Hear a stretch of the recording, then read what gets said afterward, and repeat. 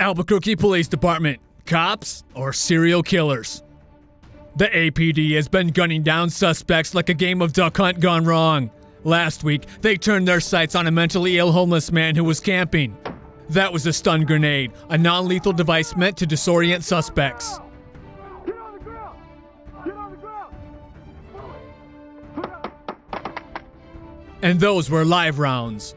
That's 38 year old James Boyd, who had a history of violent arrests. For three hours, police tried using verbal means to persuade him to leave the campsite before eventually applying deadly force. Adding injury to injury, Boyd is seen lying fatally wounded on the ground when police suddenly hit him with a non lethal beanbag shotgun. Albuquerque Police Chief Gordon Eden held a press conference saying, Do I believe it was a justified shooting? Yes. If you follow case law Garner versus Tennessee, there was a directed threat to an officer. Upon second look, Get on the ground! Get on the ground now! Get on the ground! Get on the ground! you can see Boyd turning around just before shots are fired. This is the moment that Chief Eden says he's threatening the officer behind the dog.